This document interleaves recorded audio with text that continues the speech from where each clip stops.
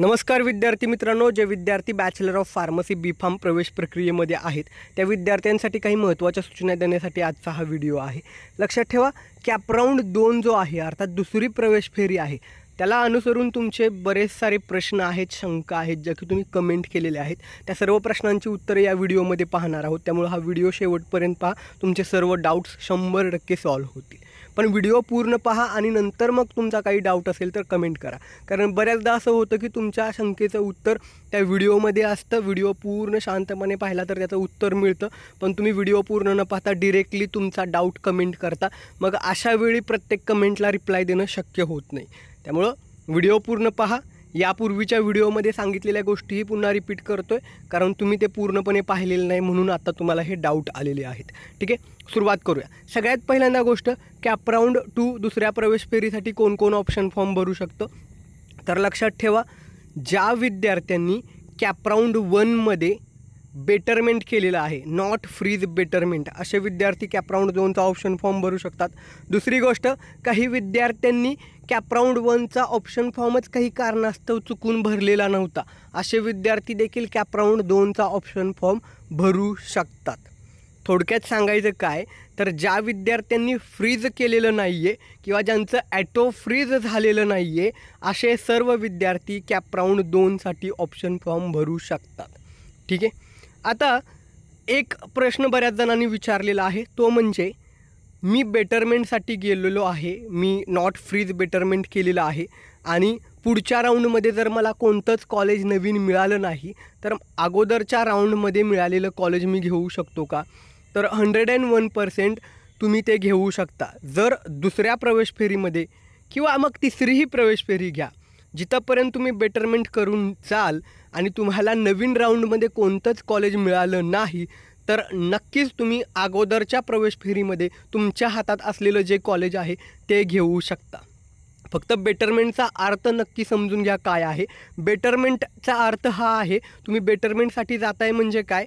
तर आत्ता मिळालेलं तुमचं जे कॉलेज आहे मग ते पाचव्या सहाव्या कितव्याही क्रमांकाचं असो त्या कॉलेजपेक्षा अजून चांगलं कॉलेज तुम्हाला मिळावं त्याच्यापेक्षा वरचं अजून चांगल्या प्रेफरन्सचं कॉलेज मिळावं यासाठी तुम्ही गेलेले आहात.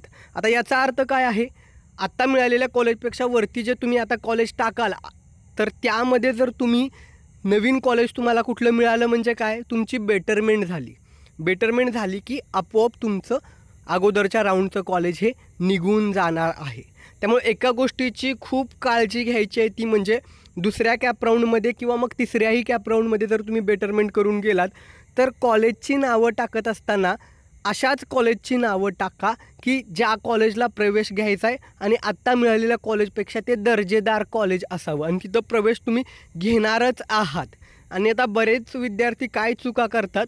दुसऱ्या राऊंडला बेटरमेंट करून गेल्यावरती अनावधानाने किंवा घाईघाई चुकून ते असं कॉलेज टाकतात की ज्याचा कट ऑफ कमी असतो किंवा त्या कॉलेजचा दर्जा कमी असतो. मग ऑब्वियसली तिथे त्यांचा नंबर लागून जातो आणि तुमची बेटरमेंट झाली आहे रूलनुसार म्हणजे आता मिळालेल्या कॉलेजपेक्षा तुम्ही दिलेल्या प्रेफरन्सचं वरचं कॉलेज मिळालं आहे याचा अर्थ काय आहे? तुमची बेटरमेंट झाली आणि अगोदरच्या राऊंडमध्ये मिळालेलं कॉलेज निघून जात असतं. ठीक आहे? त्यामुळं ही चूक टाळायची आहे. दुसऱ्या आणि तिसऱ्या राऊंडला असेच कॉलेज टाका की जिथं तुम्हाला प्रवेश घ्यायचा आहे. आणि साधीशी गोष्ट आहे ऑप्शन फॉर्म भरताना तुम्ही जर एक रूल फॉलो केला असेल तुम्ही जर पसंतीच्या उतरत्या क्रमानं कॉलेज टाकले असतील की सर्वात जास्त कॉलेज हवं ते एक नंबरला त्यानंतर दुसरं तिसरं असा जर सिक्वेन्स प्रॉपर सेट केला असेल तर तुम्हाला कुठलीही शंका येणार नाही. मिळालेल्या कॉलेजपेक्षा अजून चांगलं कॉलेज मिळेपर्यंत तुम्ही नक्कीच वाट बघू शकता. त्यामुळं पुन्हा मी तीन चार वेळेस ही गोष्ट रिपीट करतो आहे कारण बऱ्याच विद्यार्थ्यांनी चुका केलेल्या आहेत. दरवर्षी या चुका होत असतात. त्या तुम्ही करू नये म्हणून पुन्हा आम्ही इन्स्ट्रक्शन देतो आहे बेटरमेंट करून दुसऱ्या किंवा तिसऱ्या राऊंडला गेलेले आहात.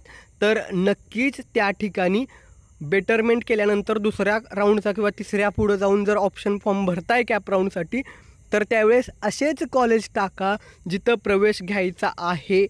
नाहीतर पुन्हा असं करता तुम्ही की नवीन कॉलेज मिळतं आणि म्हणता मला आता नवीन मिळालेलं कॉलेज नको आहे अगोदरच्या राऊंडचं कॉलेज हवं आहे. तर तसं होत नाही. तुमची बेटरमेंट झाली तर अगोदरचं कॉलेज हे निघून जात असतं. त्यामुळं असेच कॉलेज टाका जिथं प्रवेश घ्यायचा आहे आता असंही काही जणांच्या बाबतीत होतं की नाही मला कॉलेजला प्रवेश घ्यायचा होता पहिल्या कॅपराऊंडच्या पण त्या ठिकाणी चुकून मी बेटरमेंट केलं माझा गोंधळ झाल्यामुळं. आणि मला ते कॉलेज आता हातातून जायला नको आहे तर अशा वेळी काय करायचं? तर अशा वेळी एक पर्याय तुमच्या हातात राहतो तुम्ही बेटरमेंट केलेलं आहे. मग तुम्ही एक गोष्ट करू शकता ते म्हणजे दुसऱ्या कॅपराऊंडचा ऑप्शन फॉर्म भरत असताना जास्त कुठले कॉलेज टाकू नका. एक दोनच कॉलेज टाका जे की खूप टॉपचं असेल. आय सी टी असेल किंवा गव्हर्मेंट कॉलेज असेल. मग या कॉलेजला तुमचा नंबर लागणार नाही तुमची बेटरमेंट होणार नाही. आणि आपोआप तुमचं अगोदरच्या कॅपराऊंडचं कॉलेज हे तुमच्या हातामध्ये राहत असतं. अजून एक शंका अनेकांनी विचारलेली होती ती म्हणजे दुसऱ्या कॅपराऊंडच्या वेळेस आम्ही कॉलेज एडिट करू शकतो का? एखादं कॉलेज डिलीट करू शकतो का? किंवा काही कॉलेजेस नव्यानं टाकू शकतो का? तर हो निश्चितपणे तुम्हाला ऑप्शन फॉर्म दुसऱ्या प्रवेश फेरीवेळी एडिट करता येतो. त्यामध्ये प्रेफरन्स चेंज करायचं आहे काही नावं ॲड करायची आहेत काही नावं डिलीट करायची आहेत तुम्ही करू शकता. आणि दुसऱ्या कॅपराऊंडच्या ऑप्शन फॉर्ममध्ये जर पहिल्या कॅपराऊंड वेळी तुम्हाला एखादं कॉलेज मिळालं असेल तर त्या यादीमध्ये ते नाव आपोआप शेवटी येत असतं बाय डिफॉल्ट म्हणजे काय? कोणतं नाही मिळालं तर ते तुमच्या हातात राहणार आहे वरच्या कॉलेजपैकी ठीक आहे?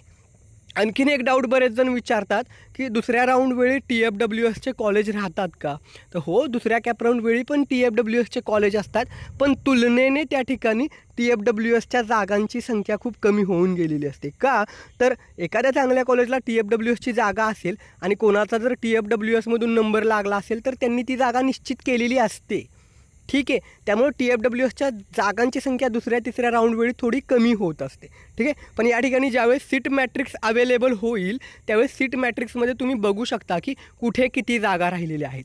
आणि बऱ्याच विद्यार्थ्यांनी म- म्हणजे फक्त टी एफ डब्ल्यू एसच्या बाबतीत नाही तर अगदी प्रत्येकाच्या कास्ट कॅटेगरीच्या बाबतीत जरी बोलायचं झालं तरी या ठिकाणी बेटरमेंट केलेले विद्यार्थी असतात. त्यांचं जर कुठे दुसरीकडे कॉलेज चांगलं मिळालं तर ही जागा निघून जाते. ती जागा रिकामी झालेली असते. ती तुम्हाला मिळू शकते.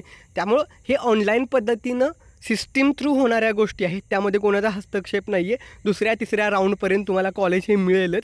कारण कोणी बेटरमेंट केलं त्याची बेटरमेंट झाली तर ती जागा ओपन होते. आणि ह्या खूप क्लिष्ट गोष्टी आहेत. आता तुम्हाला माहीत आहे का? तुम्ही ज्या कॉलेजला यादी दिले पसंतीच्या उतरत्या क्रमानं आणि तुम्हाला सर्वात जास्त जे कॉलेज हवं आहे त्याला इतर कॅटेगरीच्या किती विद्यार्थ्यांनी अप्लाय केले त्यांचे मार्क्स किती आहेत हे तुमच्या हातातले विषय नाही आहेत तुम्ही फक्त ऑप्शन फॉर्म भरत असताना तुमच्या पसंतीच्या उतरत्या क्रमानं तुम्हाला सर्वात जास्त जे कॉलेज हवं आहे ते पहिल्या क्रमांकावरती सर्वात जास्त हवं ते.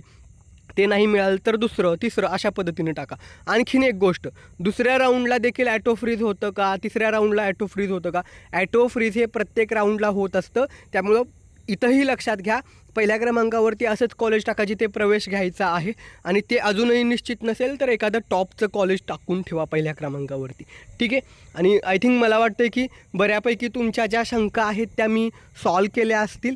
जर ही माहिती आवडली असेल व्हिडिओला लाईक करा. आणि बरेच जण व्हिडिओ बघतात पण चॅनलला सबस्क्राईब करत नाही तर सबस्क्राईब करून घ्या. मी कधीही तुमचा टाईमपास आत्तापर्यंत केलेला नाही आहे ज्या महत्त्वाच्या गोष्टी आहेत त्या तुम्हाला सांगतो. अगदी सविस्तर सांगतो मला. माझ्यावरती स्वतःवरती विश्वास आहे की एवढं यूट्यूबवरती कोणी डीपमध्ये सखोलमध्ये समजावून सांगत नाही. आणि प्रत्येक व्हिडिओसाठी आम्हाला खूप एफर्ट्स घ्यावे लागतात मला. त्या ठिकाणी व्हिडिओ बनवणं ते नंतर एडिट करणं एक्सपोर्ट करणं अपलोड करणं. तर मी जर तुमच्यासाठी एवढे एफर्ट्स घेतो तर ॲटलीस्ट सबस्क्राईब करा. कारण आपल्याला जो एक लाख सबस्क्रायबरचा टप्पा पार करायचा आहे त्यासाठी तुम्हा सर्वांची सोबत खूप महत्त्वाची आहे. त्यामुळे नक्कीच चॅनलला सबस्क्राईब करा आणि जे कोणी फार्मसीला प्रवेश घेत आहेत त्या सर्वांसोबत हा व्हिडिओ शेअर करायला विसरू नका. धन्यवाद. थँक्यू